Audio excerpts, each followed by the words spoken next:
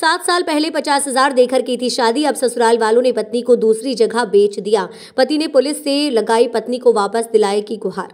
शिवपुरी ज़िले के गोवर्धन थाना क्षेत्र के अंतर्गत आने वाले धौरिया गाँव के रहने वाले एक युवक ने आज एसपी ऑफ़िस पहुंचकर ससुराल वालों पर पत्नी को बेचने का आरोप लगाते हुए पुलिस से पत्नी को वापस दिलाए जाने की गुहार लगाई है। सात साल पहले ससुराल वालों को पचास हज़ार देकर की थी शादी। जानकारी के अनुसार गजेंद्र धाकड़, पुत्र रामकिशन धाकड़, निवासी ग्राम धौरिया थाना गोवर्धन ने बताया कि उसने पोहरी थाना क्षेत्र के अंतर्गत आने वाले मेहरा गाँव के एक आदिवासी युवती से सात साल पहले अंतर्राज्यीय विवाह किया था। इस दौरान उसने युवती के पिता को पचास हज़ार भी दिए थे। विगत आठ माह पहले पत्नी छोटे बच्चों को लेकर मायके चली गई थी, जिसके बाद वह लौट कर घर नहीं आई। मैंने जब अपने ससुराल में जाकर पता किया तब मुझे पता चला कि ससुराल वालों ने मेरी पत्नी को पच्चीस हज़ार रुपये में सुहापुत्र बच्चे आदिवासी निवासी ग्राम दुल्हारा तहसील पोहरी जिला शिवपुरी को बेच दिया है। पीड़ित पति ने बताया कि तभी से मैं पत्नी को वापस पाने के लिए थाने के चक्कर काट रहा हूँ लेकिन पुलिस मेरी सुनवाई नहीं कर रही है।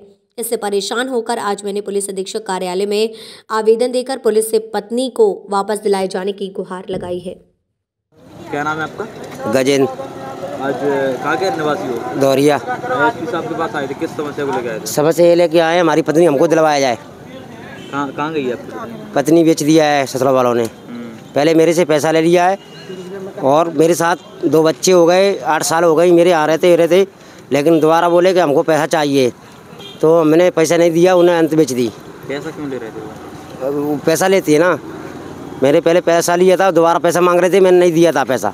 आपकी शादी कब हुई थी? ये हुई थी आठ साल पहले। अच्छा इससे पहले भी उन्होंने कई बार मतलब बेचा हाँ नहीं पहले पहली बार आपको बेचा? पहली बार मेरे को बेचा।